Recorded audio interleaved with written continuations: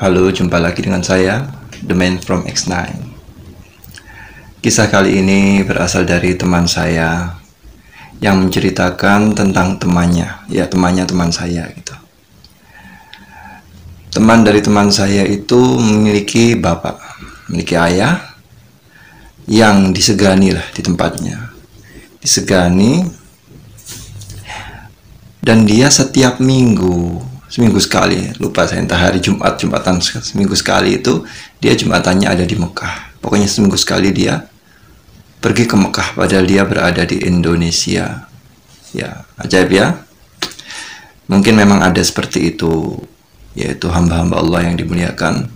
Namun ada juga yang sesuatu yang tidak semestinya yang bisa terjadi seperti itu Contohnya adalah kisah dari teman dari teman saya ini. Ayahnya seperti itu, seminggu sekali pergi ke Mekah. Nah, suatu saat ayah ini wafat. Ayahnya ini wafat dan semasa hidupnya itu anaknya itu, putranya itu, teman dari teman saya ini tidak boleh masuk ke dalam sebuah kamar milik ayahnya. Seluruh keluarganya nggak boleh masuk ke kamar itu Nah, saat ayahnya wafat, dia coba masuk ke kamar ayahnya yang tidak yang tidak boleh dimasuki itu. Nah, saat dia buka, dia masuk, ada sesosok jin besar yang tertawalah. Ia terkejut dia, terkejut, namun tidak dia hiraukan. Dan di dalam kamar itu anehnya ada sebuah WC duduk, ya, sebuah ruangan tapi di dalamnya ada sebuah WC duduk dan di pijakannya itu ada engsel. Ada engsel. Bisa dibuka tutup di pijakan kakinya WC duduk itu. Saat dibuka di engsel di pijakan kakinya itu ada Al-Quran. Ada Al-Quran teman-teman. Masya Allah. Alhamdulillah Al-Quran dinista ditaruh di tempatnya kaki di WC duduk. Padahal ayahnya ini seminggu sekali ke Mekah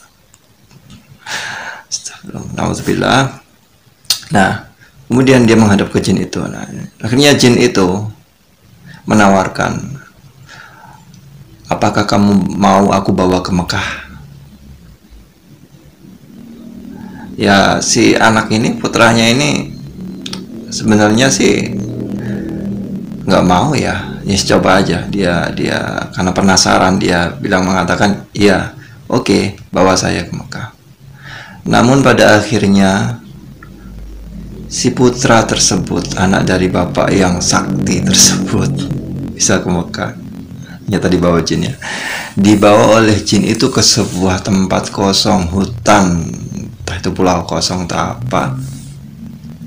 Sama jin itu. Dan di situ dia kaget dong. Kok saya dibawa ke sini? Katanya mau dibawa ke Mekah. Jin itu mengatakan, oke okay, aku akan membawamu ke Mekah, tapi bersujudlah dulu kepada aku. Aku akan membawamu ke Mekah seminggu sekali, tapi kamu harus bersujud kepada aku.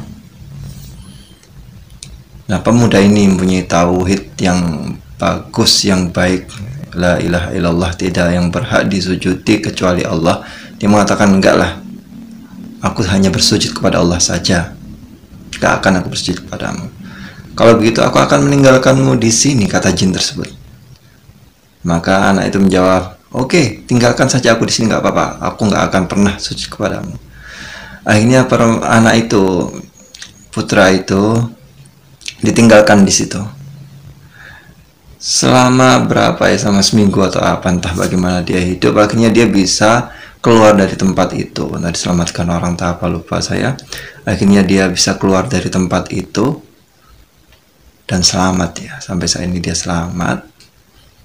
Dan dia menceritakan semua ini kisah ini. Nah, dari kisah tersebut kita simpulkan bahwa sesuatu yang kita lihat mulia belum tentu seperti apa yang terlihat dan sesuatu yang terlihat hina belum tentu seperti apa yang kita lihat. Dan kita hanya memandang kebaikan Allah saja. Jika kita memandang baik orang silahkan. Tapi jangan terlalu berlebihan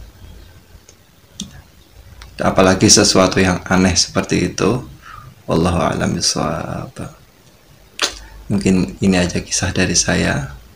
Kita pertebal keimanan khususnya bulan Ramadan ini. Semoga-moga kita keluar dari bulan Ramadan dalam keadaan diampuni Allah Subhanahu wa taala.